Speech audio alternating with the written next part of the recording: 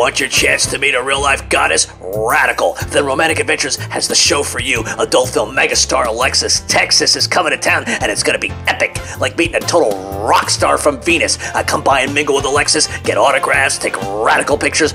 Wow, it's the goddess Alexis Texas Romantic Adventures. Duh, winning Romantic Adventures on Highway 80. You'll have to be an insane warlock to miss it. Wow. Come meet Alexis Texas April 1st and 2nd.